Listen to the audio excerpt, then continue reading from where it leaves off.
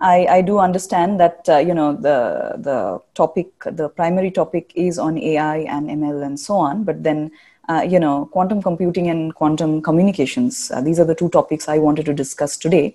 And I actually realized that you know we have started to use. Uh, uh, machine learning uh, approaches even in these domains. And so uh, I'll tell you a little bit about that as we go along as well. So with that, I would like to share my screen. And then, of course, as always, you have to confirm that you can see it. Um, and uh, yes, now would be a good time. Yeah, okay, great. So let me just make this a bit smaller. Yeah.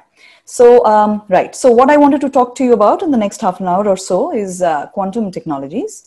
Uh, specifically quantum computing and secure quantum communications. And these are the two areas that uh, my lab is working on and wanted to give you a little overview of the kind of things we do. And also a little bit about uh, how uh, perhaps uh, the topic of the, the, main topic of the discussion may fit in to this. So as mentioned, I'm Urbasi Sinha. I'm a professor at the Raman Research Institute in Bangalore. Uh, and I'm also an affiliate faculty at IQC and CQIQC, both in Canada. So, uh, right. So this is, um, you know, the Raman Research Institute. And of course, uh, it is a very interesting time because we have an online symposium and I've been doing that now for the last few months. But when uh, times are better, then please feel free to visit our lab uh, and, uh, you know, we can discuss more. Our lab is a quantum optics lab, which is also a class 10,000 clean room, which means essentially that we have less than 10,000 dust particles per cubic foot. And that is important because we work a lot on interferometry based experiments, which actually require a certain level of uh, precision. And then dust particles are great interferometers. And so we don't want those interferences in our uh, you know uh, experimental results. And so that is why uh, we have a clean room environment and we work on different areas. And this is a snapshot of various experiments. And so it's an optics lab. And so you can see lots of optical components here. And uh, the, you know please feel free to visit the website for a lot more detail than i can provide in the next half an hour. And so the topics as i mentioned are quantum communication computing quantum optics and fundamentals of quantum mechanics as well uh, these are the various people who are there, and then of course people who have come and gone, and you know making a vibrant uh, environment. So going back to a little bit about the quantum mechanics itself, because I thought I'll spend a few minutes on, on discussing that and where all this fits in. You know, uh, what is very interesting is that you know our theoretical understanding of the universe is very incomplete, and we don't understand more than eighty percent of what the universe is made of and so you know we talk about dark matter dark energy and so on. And so then it's obvious that we also need to have a little bit of a skeptical attitude towards the various laws uh, which uh, you know uh, physical laws and so on which we shouldn't be taking for granted because even a tiny modification to these would have deep implications for instance let's say on cosmology. And so fundamental tests of these various principles are very important because they give you bounds which then you can base your applications on and so one of our primary areas of focus is fundamental tests, tests, precision tests of various principles of quantum mechanics. And then with those bounds, we can hope to, uh, you know, have uh, more precise applications in quantum computing and communications, uh, which are the two application areas. So quantum computing is, of course, as you know, a very important research direction and their com- quantum computers are projected to be able to solve certain problems for which there is no efficient classical algorithm but actually more importantly it will be able to solve class of problems which will be exponential faster than what is possible in classical computation. And these are the problems which we are currently aware of actually. And so that is what will make this revolutionary because something which we thought perhaps is uh, going to take the age of the universe to solve will now be done in minutes or hours depending on the power of the quantum computer. Uh, comes hand in hand what is called quantum cryptography, which actually secures, uh, gives you perfectly secure communication. And I will tell you a little bit about how these are the yin and the yang of quantum technologies, how they go hand in hand, how they should be developed together. And that is what we are focusing on. Now, going back to a little bit, you know, the next few slides, a little bit about the history of this subject. And of course, Richard Feynman cannot be avoided here. Richard Feynman is one of the most uh, famous physicists of all times. And very famously, he has said that I think I can safely say that nobody understands quantum mechanics. And this was 1965. But in 2020, we can say that nobody completely understands quantum mechanics. We do understand a little bit more in the last 55 years, but there's a lot more to learn and that is what makes this so interesting and exciting and and and you know every step there is possible surprise and which requires a completely new explanation. And so that is what keeps this field uh, very vibrant. And of course, the topic of this uh, entire discussion session is about whether the AI will ever win a Nobel Prize. And having said that, we will see how there are so many applications which are there in our world around us, which are inherently dependent on quantum mechanics, very um, you know commonplace to very sophisticated ones. And essentially, quantum mechanics is one of those theories which has had so many seminal discoveries associated with it that indeed it has led to Nobel Prize winning uh, discoveries.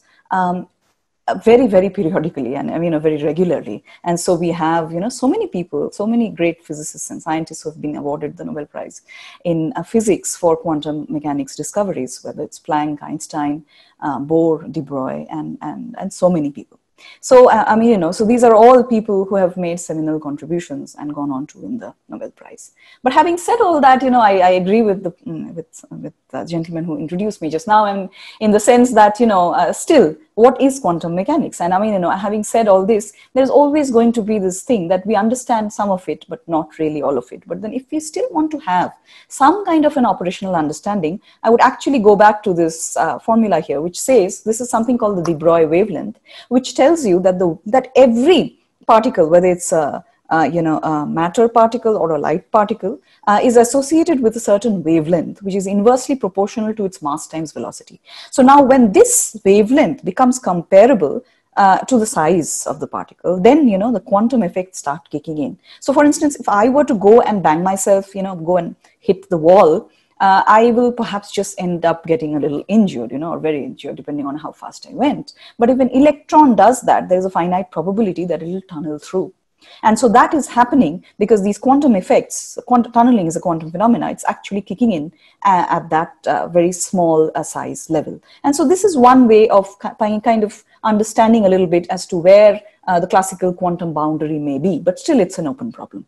And, and uh, you know, we don't really have the perfect answer to it. But having said that, this double slit experiment, which was voted you know, which is a very celebrated experiment in quantum mechanics, was voted the most beautiful experiment in physics uh, by, the, uh, poll in the New York Times, goes on to say that, you know, uh, there is a lot of mystery associated with this subject, but then there is a lot that one can learn from it and apply, which is what we want to go on to see next as to the strangeness of the quantum world, as we say in colloquial language, that actually gives rise to the power of the quantum world. So for instance, an important phenomena is what is called the quantum superposition principle.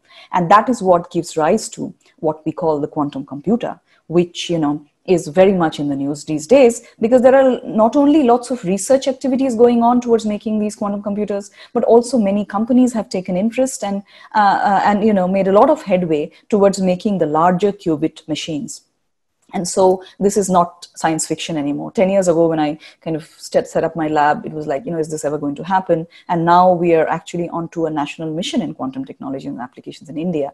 And i'm one of the uh, members of the drafting committee. And we see that this will happen very much uh, in the near future and so having said that, what is the superposition principle? So uh, to explain this, you know, let us think about uh, what, what is happening around us in our, uh, you know, uh, silicon-based uh, electronics. And so we talk about the transistor.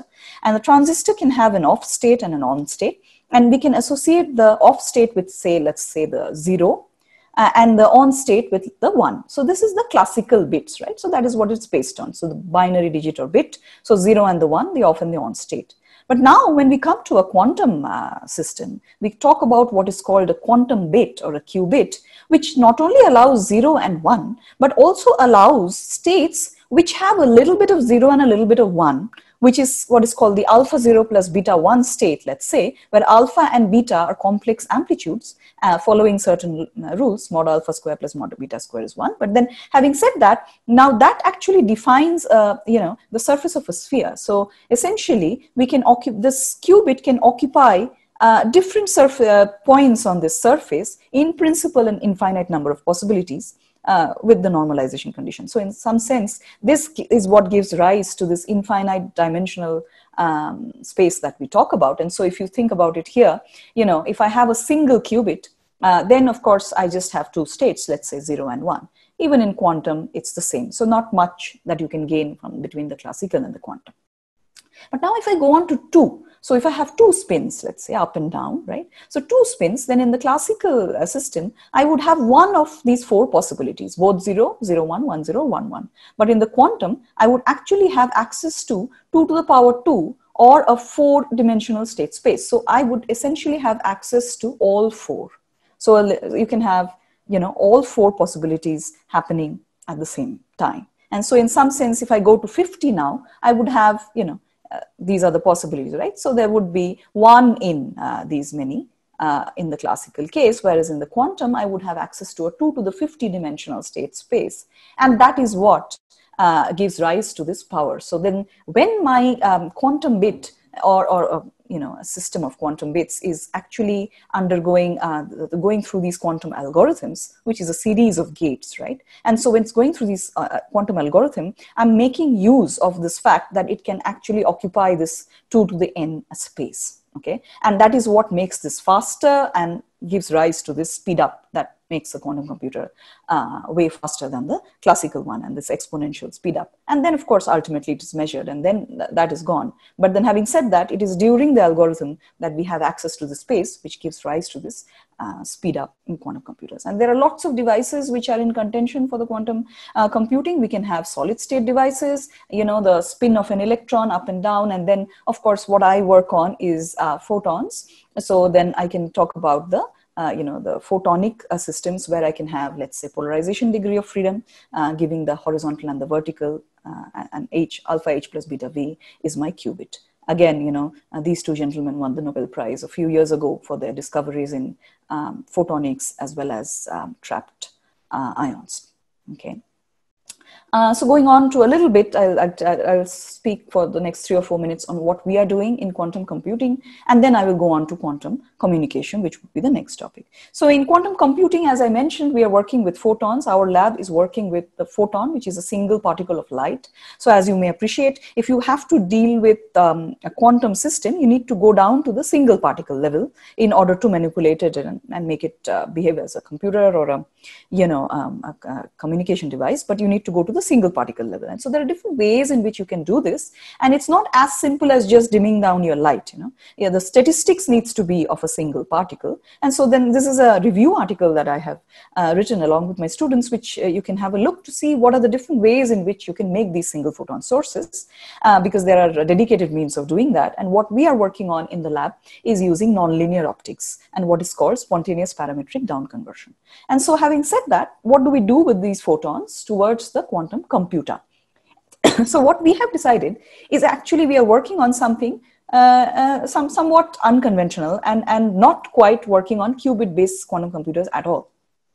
So qubit based systems are very much available and you know there's a lot of research going on in that. But having said that if you remember what i was talking about is this importance of this number 2 to the 50 right so what is important here is this uh, fact that we need 50 qubits in coherent superposition.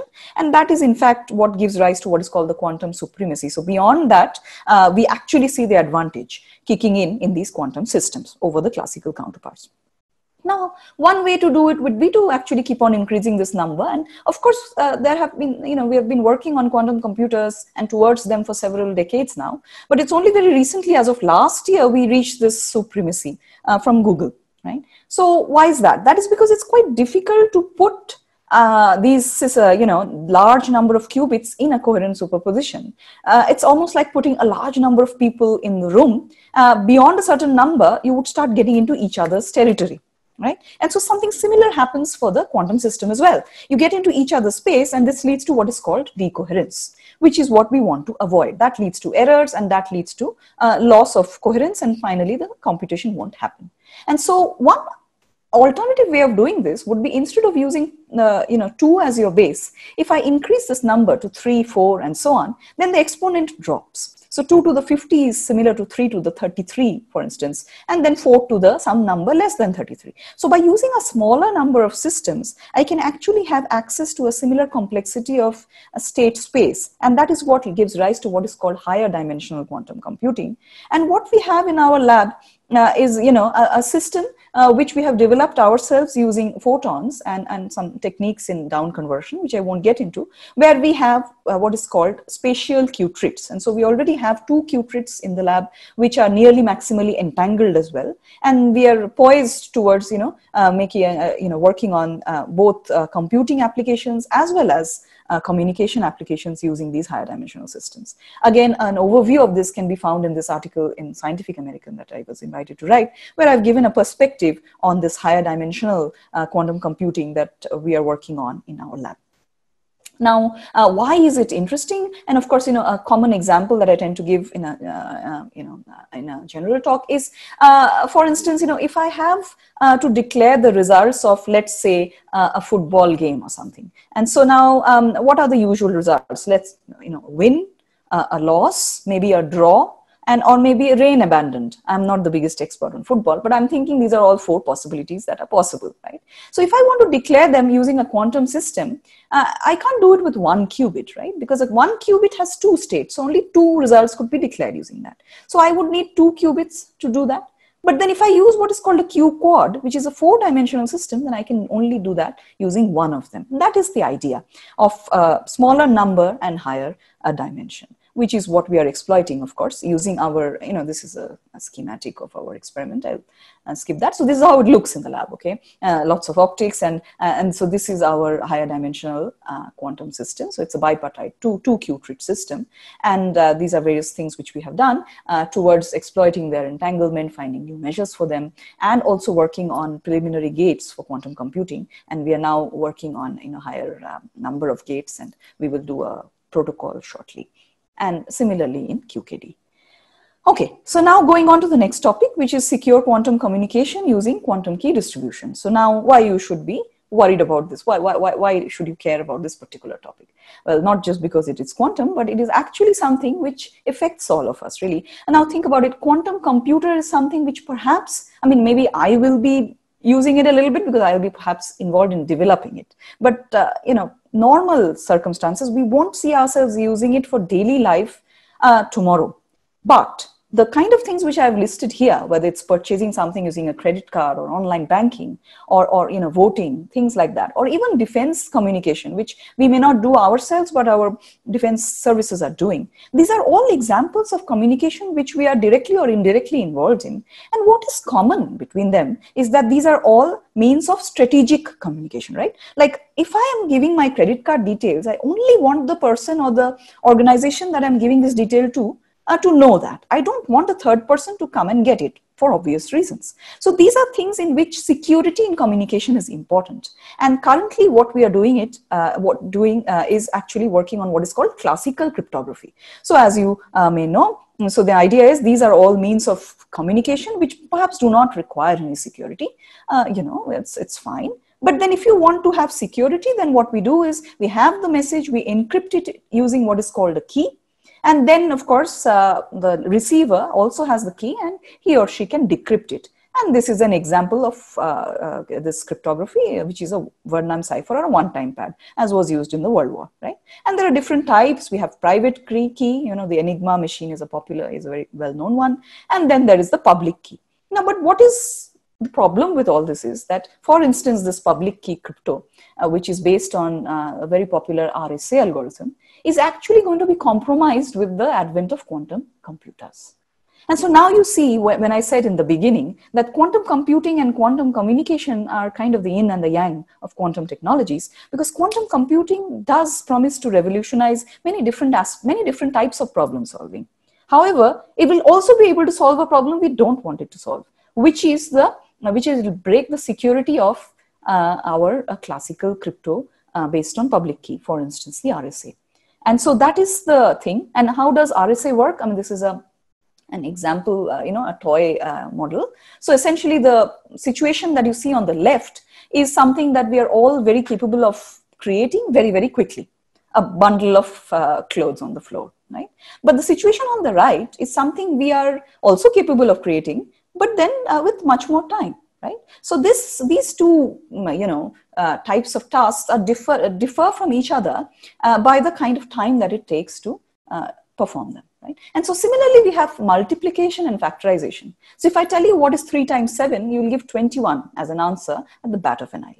But then if I tell you what is what are the two prime factors of 1, 1, 2, 3, 6, 1, uh, that won't come so quickly. And so that is why there are certain classes of problems which are harder than others.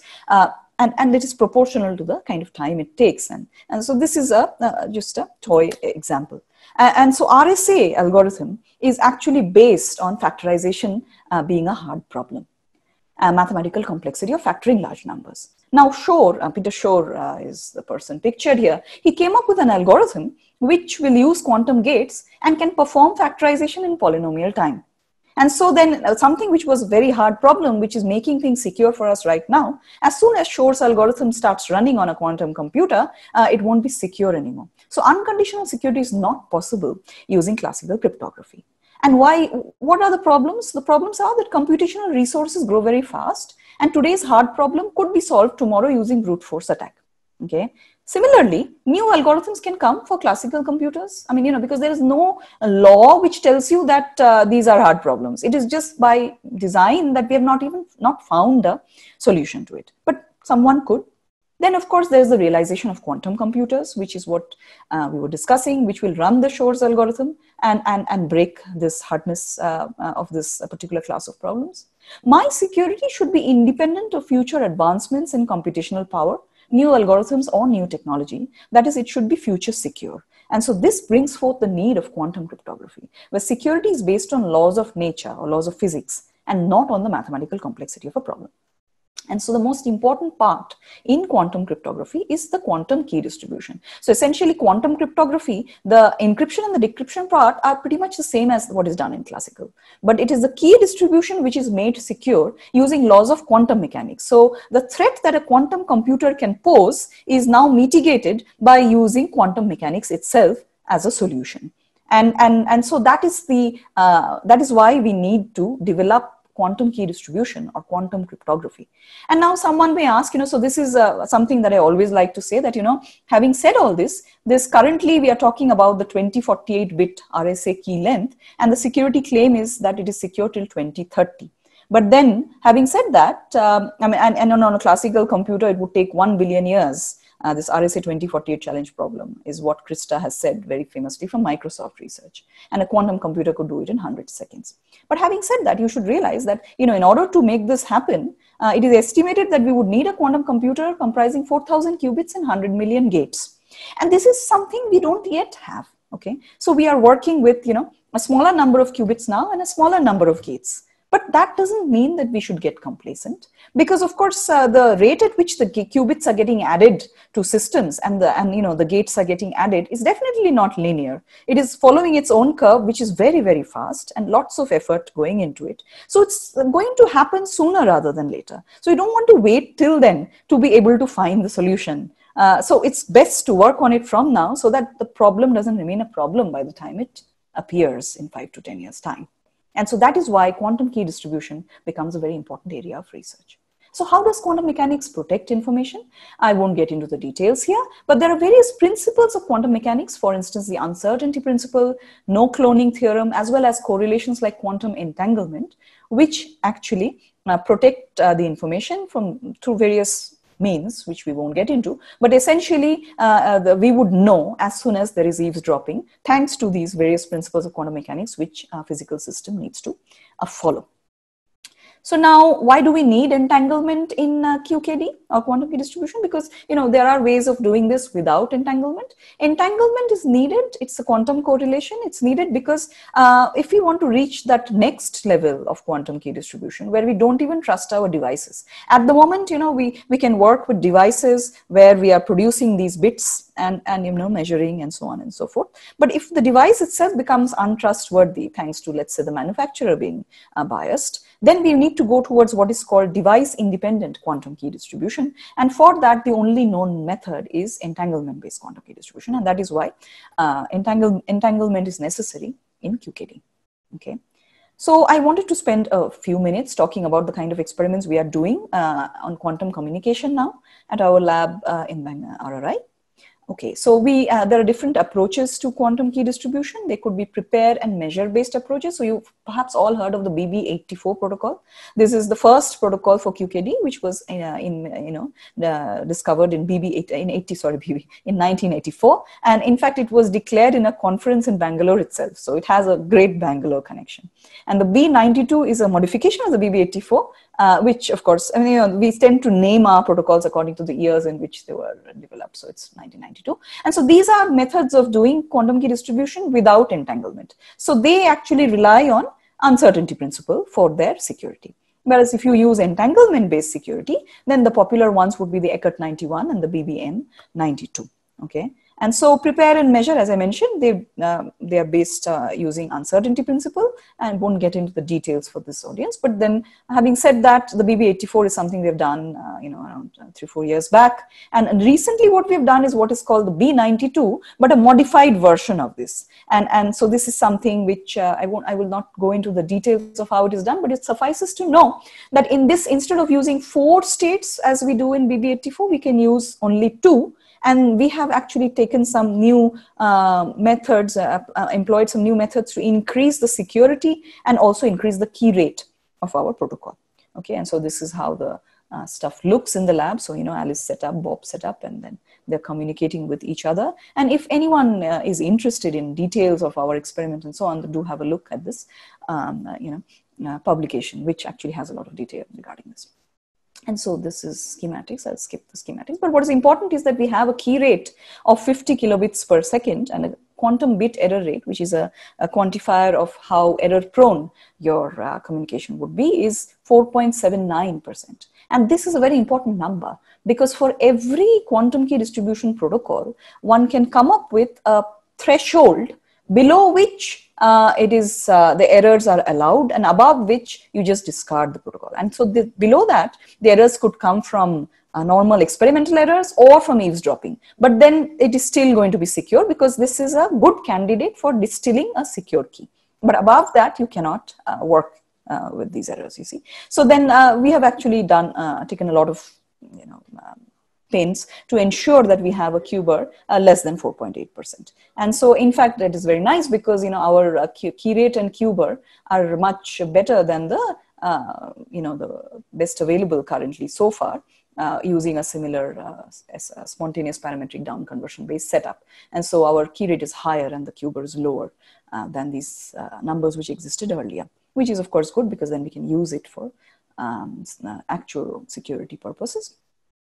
And of course, we have done the image encryption. So ultimately, when you get the key, you would encrypt a message with it, and then Bob would decrypt the message. And so this is what we ended up getting. So this was our intended message. It was a picture of a cat. Um, uh, and then Bob decrypted the same thing, and you can see that they're pretty they're, they're the same, uh, and that is because you know we managed to get a very good uh, error-free key. But then, and this is what happens in between. This garbage that you see in the middle uh, is uh, what the eavesdropper would see okay? And if we didn't do a good job we might end up with a completely different picture. This was my students idea of animation. So um and then for entanglement based protocols also we have done uh, you know polarization. I mean, i'll skip the details. This is an example of an entangled photon source. And uh, these are our bbm92 uh, schematics I mean, this is the actual experimental uh, setup that you see.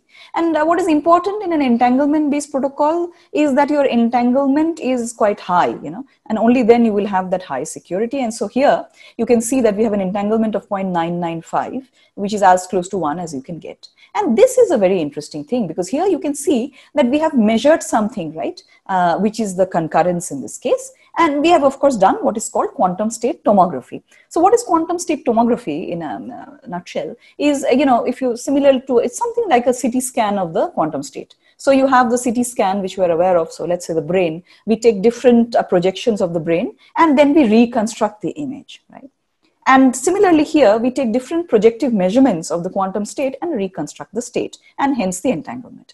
Another way of uh, actually ensuring the security of entanglement-based QKD is using what is called a Bell inequality violation. But without getting into the details of that, what is very interesting is that now uh, people have started using, uh, uh you know, machine learning and reconstructive and this sort of uh, very uh, learning-based approaches to actually get a better value for the Bell parameter and and now our kind of experiments have actually started using uh, these sort of uh, machine learning based approaches uh, to kind of uh, make the settings of the various um, experimental parameters uh, near perfect which perhaps is not going to work very well uh, by just human intervention. And so, in fact, this is so, you know, these sort of ideas are actually now coming in to quantum communication as well and similarly of course quantum computing because you know this sort of uh, approaches towards optimization which are not just the straightforward optimization but involve some learning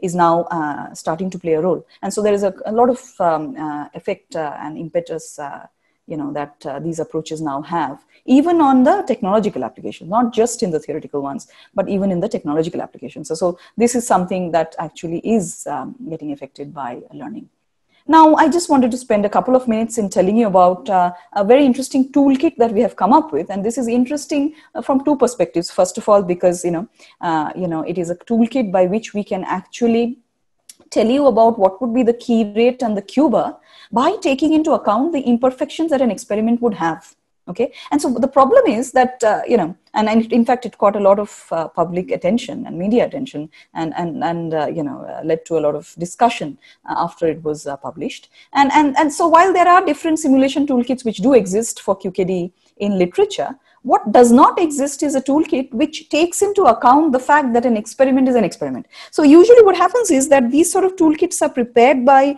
uh, software um, based software engineers, you know, that background people. So they don't really worry about the fact that my beam splitter is not going to be a 50-51 really, or my detection is not going to be perfect. And so because we, when we started doing this, we realized this doesn't exist. So we de decided to develop it ourselves. And that is what led to the development of QKD SIM, which is a a, simulation toolkit which actually takes into account these things. And so you can use it then to kind of come up with a good uh, understanding of how the experiment should be you know so it's almost like you know you can um, uh, figure out much better as to how you should do your experiment before doing it and so if you did it and then figured it out, then you would have already spent those resources. And so it's not very cost effective. And that is why it helps in quick accommodation of all these uh, various, um, you know, realistic imperfection, experimental non-idealities and physical process models and, and, and gives us a very nice performance. And what is also very interesting is that we have used this AGIFOL uh, model for software development, which uh, I'm told is a ThoughtWorks um, uh, invention. And so we have actually used the waterfall model for some of our stuff and then brought in agility through the agile platform. And so this is an example of the AGIFOL model uh, being used in uh, quantum key distribution. And so, uh, I mean, you know, without going into detail, so these are all the various things which get fed into the various uh, uh, modules of this architecture. And so uh, that is what we have developed, a modular architecture, uh, which is very important because if I now today want to simulate some other protocol, all I need to do is replace a certain module with something else rather than simulate the whole thing bottom up. And that modular architecture thus uh, is very helpful. And we've also done a lot of bootstrapping analysis and included that also in this uh, simulation toolkit and, and giving us very nice optimized results, which uh, are here. So I go over to the results and you can see how the simulation and the experiment compare rather well, you know, around 50 kilobits per second. And of course, we have restricted the QBER to be below this information theoretic security threshold. And this is something uh, which uh, now we are going into the next iteration um, by including even more imperfections. Uh, so various algorithms. Uh, our lab actually is, uh, you know, focusing on um, uh, doing all these various developments in quantum communications towards uh, developing various techniques for long distance quantum communications. And why is that important? Because of course, it's not just me and my student who would like to communicate with each other in the lab through QKD.